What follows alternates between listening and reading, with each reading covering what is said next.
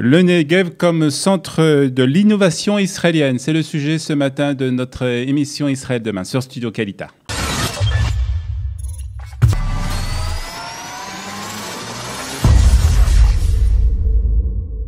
Et euh, notre invité euh, pour euh, cette émission ce matin, c'est Edith Lévy-Neumann. Edith, bonjour.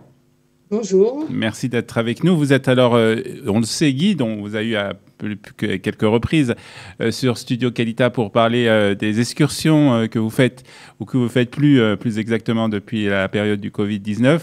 mais vous avez en fait trouver une nouvelle manière d'être en contact avec des personnes qui veulent euh, découvrir Israël euh, par Zoom. Et vous avez donc euh, mis au point plusieurs conférences qui existent déjà sur l'innovation en Israël. Et comme dans cette émission, nous, on aime bien parler de tout ce qui est innovation, on va le faire aujourd'hui et on va plus particulièrement parler de, ce qui se passe dans, le Negev, parce que c'est très intéressant euh, cette, région d'Israël est en fait un, peu une sorte de serre de, des nouvelles technologies israéliennes.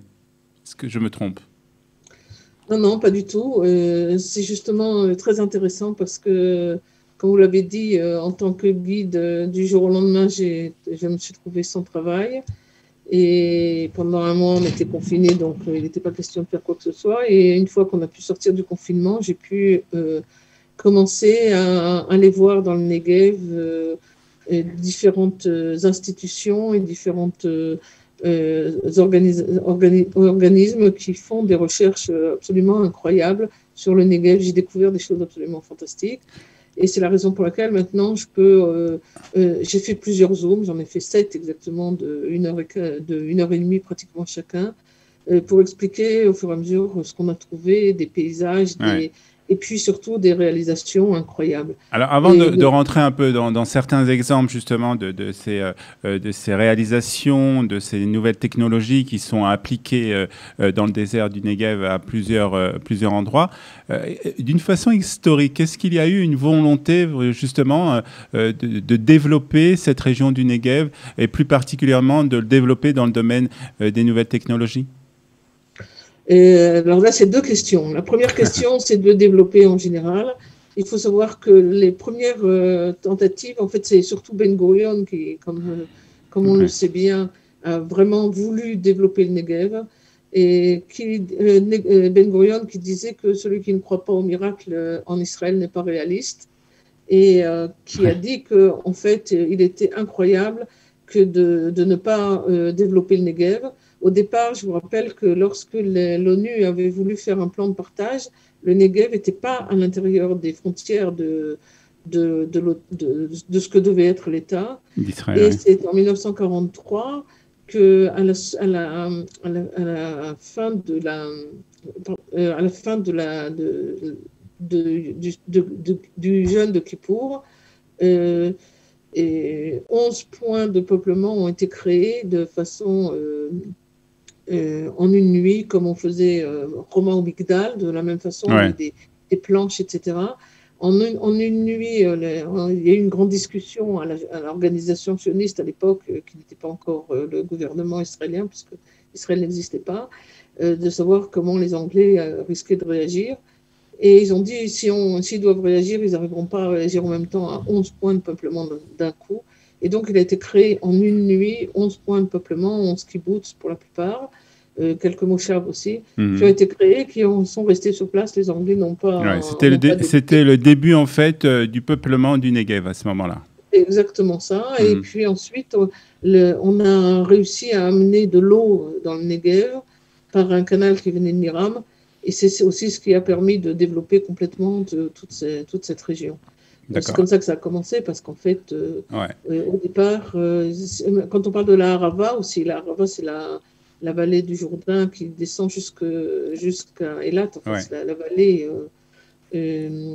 avec la frontière avec la Jordanie. Ouais, c'est tout le côté de la mer Morte, en fait. Sur le côté de la mer Morte. Quand des jeunes ont voulu s'installer là-bas, ils ont été considérés comme des fous. le gouvernement ne voulait pas les laisser. Ils sont allés voir Ben Gurion et Ben Gurion a donné un ordre de de, les aider un petit peu. Et c'est comme ça qu'ils ont commencé à développer le premier kibbutz qui est dans la Reva. Et aujourd'hui, quand on descend vers Elat, c'est absolument incroyable de voir euh, ces taches de, ces taches de verdure un peu à mm. droite, à gauche de la route, qui sont en plein milieu d'un désert euh, de sable et de roches. Alors, à partir de, à partir de quel moment, Edith, euh, le gouvernement d'Israël ou l'État d'Israël décide justement de développer non seulement les endroits de peuplement, mais aussi de développer euh, certaines industries dans la région du Negev? Alors, les industries, les industries, surtout les industries de high-tech, c'est dans les dernières années. C'est en même temps qu'Israël est devenu une start-up nation, en disant depuis une quinzaine d'années. Euh, que euh, beaucoup de nouvelles entreprises se sont créées, mais c'est pas seulement, c'est pas seulement euh, depuis ces dernières années, puisque un Sdeboker, le kibbutz de Ben Gurion, à côté se trouve la midrasha de Sdeboker, et dans cette midrasha se trouve un des, une des succursales de l'université de Ben, de ben Gurion, l'université de Sheva, et dans laquelle se trouvent des chercheurs qui ne cherchent que des des recherches euh, liées au désert. Alors, il y, a une, il y a un département qui s'occupe de l'eau, évidemment. L'eau dans, dans, cette région, c'est le, le, problème numéro un. Mm-hmm. Il y a un, un département qui s'occupe de l'agriculture, un autre de poissons. Figurez-vous qu'on élève des poissons dans le désert. Et euh, on nous expliquait que, en fait, c'était extraordinaire de pouvoir élever des poissons et, vérifier dans les poissons les maladies parce que euh, on peut isoler les, paramètres, ce qu'on ne peut pas faire dans d'autres endroits où quelquefois on isole euh, une, une flaque d'eau dans laquelle ou une piscine dans laquelle se trouvent les poissons, mais les poissons peuvent recevoir des influences d'autres cours d'eau ou d'autres choses. Dans le Negev, là, on est tranquille. Si on met un cours d'eau, une, une piscine de poissons, il n'y aura pas d'apport ou très peu d'apport de l'extérieur. Mhm. Donc on peut faire des recherches vraiment en isolant les paramètres, ce qui est très important.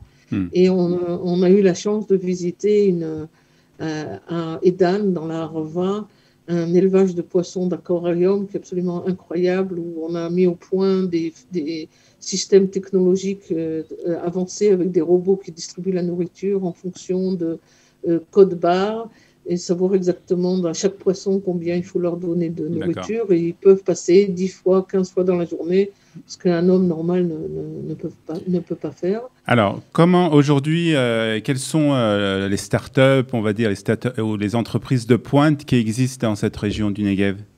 Alors, je dis d'abord, il y a la recherche des, poissons, la recherche de l'agriculture aussi. Il y a énormément de choses qui sont faites dans l'agriculture.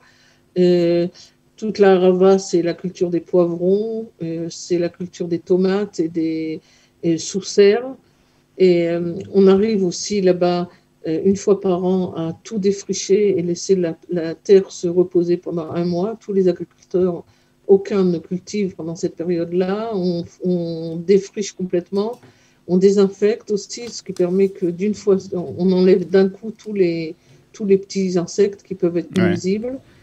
Et euh, on a développé des, évidemment les tomates, les tomates chéries, les petites tomates cerises. Euh, c'est des tomates qui ont été développées non pas dans le, dans le Negev, mais presque, c'était dans le Gush Mais aujourd'hui, c'est développé en grand dans le Negev. Et on fait des recherches sur euh, les huiles, en particulier l'huile de Khoroba, qui était, et l'huile d'organe aussi, qui vient du Maroc. Mhm. Ah Au Maroc, on mhm. utilisait à partir de, de, du caca des, des chèvres. Mhm. Et aujourd'hui, on a mis des, des, techniques bien plus avancées pour arriver à sortir de, des plantes d'organes beaucoup plus de, de rendement. Et du jojoba aussi, qu'on a utilisé depuis l'Afrique et qui euh, donne 3-4 fois plus de rendement que dans tous les autres pays. Très bien, Edith. Alors, vous avez. Euh, vous il y a les algues aussi, il y a un phénomène incroyable aussi. Oui, allez-y, parlez-nous des algues. Et le professeur euh, international qui a développé cela, qui se trouve aussi à l'université de Ben Gurion, et que j'ai eu la chance de pouvoir rencontrer. D'ailleurs, on a eu une, journée de rencontre avec ses professeurs à l'université de Ben Gurion qui était passionnante. Et il nous a expliqué qu'aujourd'hui, on peut faire des algues dans des tuyaux, faire euh, pousser des algues dans des tuyaux. Et ils ont fait, euh, il a, lui, il a eu l'idée de, de, développer cela d'un point de vue scientifique. Et il, il s'est mis en rapport avec un kibbutz qui s'appelle Ktora, qui est sur la route des Lattes, à 50 km des Lattes. Et là-bas, ils ont construit 700 km de tuyaux pour faire grandir des algues. Et les algues, c'est les nouvelles protéines des années 2050 pour développer d'autres formes de, de, nourriture. D'accord. Alors, Une autre chose qui a été faite aussi, c'est vraiment le, futur qui est euh, dans cette, euh, euh, dans cette région d'Israël. alors Edith, vous avez réalisé, en fait, comme vous nous l'avez dit au début, vous êtes parti dans ces régions avec votre, votre caméra et vous avez réalisé en fait des sortes de reportages? Des sortes de reportages, et surtout des, des, des zooms, enfin, c'est-à-dire des, j'ai monté des, des, des, fichiers de PowerPoint et je les présente dans les zooms. Comme je vous disais tout à l'heure, j'ai réussi, j'ai fait euh, maintenant jusqu'à 7 zooms euh, sur, le, sur les différentes choses qu'on trouve dans le Negev. Il y en a encore d'autres que je n'ai pas terminées, hmm. en particulier le, le, vin et tout, le raisin et le vin, qui s'avère être une des régions les meilleures pour faire pousser du vin euh, du pousser du raisin, pardon, mhm. et pour faire du vin, parce qu'il y a des très grandes différences de température entre le jour et la nuit, et c'est excellent pour le raisin. D'accord. Mais maintenant, les, les, les, caves du Golan viennent prendre du raisin euh, dans le Negev pour développer leur cave. Donc, euh, c'est des choses qui paraissent incroyables. Voilà, donc très prochainement, du vin du, du Negev sur, sur les tables des Israéliens. Euh, pour terminer, alors je crois qu'il y a d'autres projets en cours, euh, peut-être même peut-être d'évoquer, d'explorer, on va dire, euh, toujours sur le thème de la technologie, de l'innovation, d'autres régions d'Israël? Oui, maintenant je voudrais aller sur Tel Aviv et même Jérusalem où il y a énormément de choses aussi qui se font. Et puis continuer ben, les visites, pas seulement technologiques, mais aussi touristiques, euh, dans, du nord, de la Galilée du Golan, euh, pour changer un peu de région et de paysage. Et en principe, euh, je fais un zoom par semaine le dimanche soir qui parle de, de, choses géographiques ou historiques d'Israël sur un peu tous les domaines. D'accord, on va dire dans quelques instants comment faire pour vous rejoindre donc lors de ces conférences Zoom. Et puis aussi, alors euh, on, on, va continuer, peut-être, on va reprendre, vous allez reprendre euh, vos excursions. Euh, oui, bah, justement. Pas en Zoom cette fois-ci, les vraies excursions comme avant. Les vraies excursions, les vraies excursions pour l'instant avec le public francophone israélien. D'accord. Que je voudrais agrandir avec quelques Israéliens aussi non francophones pour que les gens puissent faire des connaissances. Et avec des Israéliens ne parlant pas obligatoirement le français et de visite de toutes ces, de, de, mêler la technologie et des visites et des paysages et par exemple dans le sud les martéchim parce qu'on peut pas aller dans le Negev sans parler des martéchim qui sont un phénomène unique au monde euh, ces espèces de grands cirques qui sont en fait des montagnes euh, de, de, euh, des sommets de montagnes qui ont été creusés par les eaux et qui sont assez fantastiques au point de vue paysage rencontrer des gens sur place et donc, euh, j'organise pour la, je réorganise pour la première fois euh, euh, du 7 au 9 septembre, trois jours dans le Negev. Très bien.